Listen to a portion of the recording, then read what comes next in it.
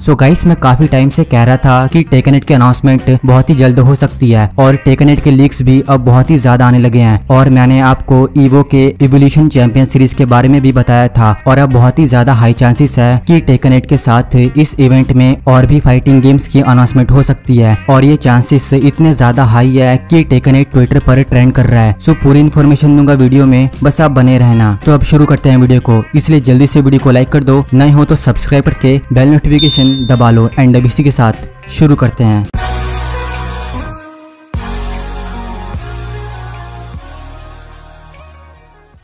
तो सबसे पहले अगर आपने टेकनेट की लिंक्स वाली मेरी सारी वीडियोस नहीं देखी है तो सबसे पहले वो वीडियोस जाके देखो। सभी के लिंक के मैंने डिस्क्रिप्शन में दे रखे हैं। सो कुछ ही टाइम पहले हम एक हैकर के ग्रुप द्वारा बांडाई नाम को टाइटल्स लीक देखने को मिले थे, जिसमें टेकनेट भी था, और इन्हीं गेम्स टाइटल में ड्रैगन बॉल, द ब्रेकर्स का भी गेम था, जो की अब अनाउंस हो चुका है। बाकी इस गेम का ट्रेलर और रिलीज़ डेट भी बता दी गई है। सो इस लीक वाले टाइटल गेम में एक गेम कन्फर्म हो जाता है, जिससे हमें ये भी पता चलता है की ये लीक और जो इनवीडिया जी फोर्स का लीक आया था, वो एकदम सच था। बस रिलीज़ डेट को छोड़कर, क्योंकि टेकनेट इसी ईयर रिलीज़ हो जाए, ये इम्पॉसिबल है। और ड्रैगन बॉल द ब्रेकर्स को अभी इसलिए अनाउंस किया है, क्योंकि ये गेम 2022 में रिलीज़ होने वाला है, और बाकी के गेम्स में भी 2023 में रिलीज़ हो, इसलिए वो अभी अनाउंस नहीं हुए। और अभी तक डेवलपर्स ने भी ये बात कंफर्म नहीं की है, या कोई भी ऐसा हिंट नहीं दिया है, जिससे कंफर्म होता है कि टेकनेट या अदर फाइटिंग गेम्स ईवो के इस इवेंट में अनाउंस होंगे। बट टेकनेट के अनाउंसमेंट की हाइप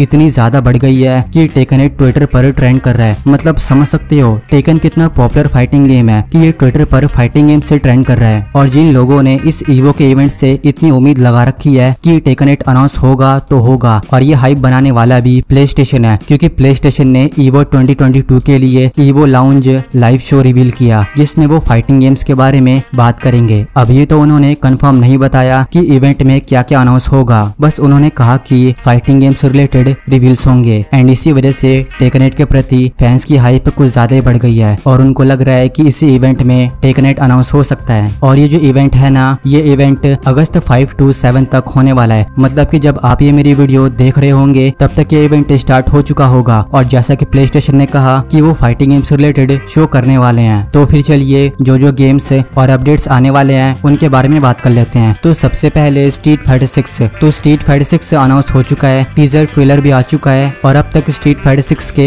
पाँच कैरेक्टर से रिवील हो चुके हैं। रियू चुल्ली जेमी ल्यूक और गायल सो ऐसा कहा जा रहा है कि इस ईवो के इवेंट में दो या तीन कैरेक्टर से और भी अनाउंस हो सकते हैं, जिसमें सबसे ज़्यादा चांसेस है किम्बरली के कैरेक्टर की। और ये भी सुनने को मिला है कि स्ट्रीट फाइटर सिक्स के वर्ल्ड टूर मोड के बारे में और भी इन्फॉर्मेशन मिल सकती है। May be world tour mode के अदर सिटीज़ कैरेक्टर्स और गेम प्ले को रिवील किया जाए। और जैसा कि आपको पता ही होगा कि स्ट्रीट फाइटर सिक्स 2023 में रिलीज़ होने वाला है बट स्ट्रीट फाइटर सिक्स की डेट और मंथ अभी तक रिवील नहीं हुए हैं। सो इसके भी चांसेस है कि स्ट्रीट फाइटर सिक्स की फुल रिलीज़ डेट इस इवेंट में रिवील की जाए। नाउ अब बात करते हैं टेकनेट की। सो टेकनेट बांडाई नाम को एंटरटेनमेंट के अंडर है। इसलिए ऐसा कहा जा रहा है कि बांडाई नाम को इस इवेंट में लीक हुए सारे गेम्स अनाउंस करेगा। या dragon ball fighter Z super और टेकनेट की अनाउंसमेंट हो सकती है। और मुझे रिसर्च में ये भी देखने को मिला कि बांडाई नाम को ये गेम्स अभी अनाउंस नहीं करने वाला था। बट उन हैकर ग्रुप ने बांडाई नाम को पर साइबर अटैक कर काफ़ी सारा डाटा चुरा लिया है और कुछ गेम्स भी लीक कर दिए हैं। और उस हैकर ग्रुप के पास अभी भी बांडाई नाम को का काफ़ी सारा डाटा है। इसीलिए बांडाई नाम को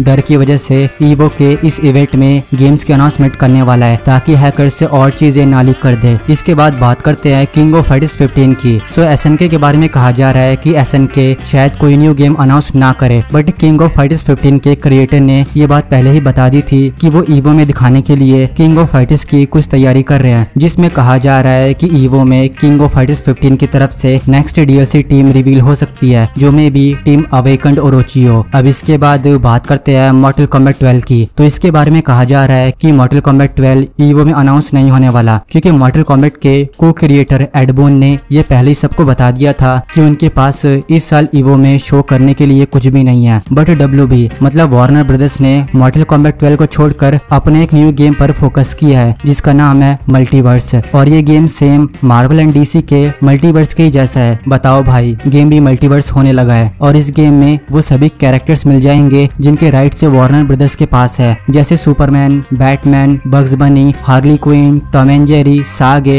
Steven Wonder Woman and ऐसे ही और भी मल्टीवर्स के कैरेक्टर्स गेम में होने वाले हैं। सो इसलिए कहा जा रहा है कि गेम में मॉडल कॉम्बैट के भी कैरेक्टर्स होंगे इसलिए मॉडल कॉम्बैट ट्वेल्व को अभी नहीं बनाया जा रहा, और क्रिएटर्स अभी इस गेम पर फोकस कर रहे हैं। बाकी इसका गेम प्ले ट्रेलर बीटा सब कुछ आ चुका है। सो आई थिंक ईवो में इससे रिलेटेड कुछ अनाउंस ना हो। सो गाइस ये तो थे कुछ मेजर गेम्स जिनकी हाइप बहुत ही ज़्यादा है कि ये ईवो में अनाउंस हो सकते हैं। एंड जैसा कि मैंने आपसे पहले ही कहा कि ये इवेंट मेरे वीडियो डालने से पहले ही स्टार्ट हो चुका होगा। बट ऐसा कहा जा रहा है कि गेम्स की अनाउंसमेंट सिक्स या सेवंथ डे को हो सकती है। सो मैं ट्राई करूँगा कि मैं इस वीडियो को जल्दी डालूं। और मैं आप लोगों से यही कहना चाहूँगा कि आप लोग इस हाइप से ज़्यादा उम्मीद मत रखना, क्योंकि ये बस कहा जा रहा है कि इस इवेंट में ये सब हो सकता है बट इसकी कोई भी कंफर्मेशन नहीं है। इसलिए अपने मन में ज़्यादा हाइप मत रखना, क्योंकि अगर गेम्स अनाउंस नहीं हुए तो गंदा वाला कटेगा सबका। बाकी थोड़ी उम्मीद रखेंगे कि गेम्स अनाउंस हो जाए। और इसके बारे में अपनी राय मुझे कमेंट में ज़रूर बताना। और जाते हुए ऐसे इन्फॉर्मेटिव वीडियोस के लिए वीडियो को लाइक कर लेना।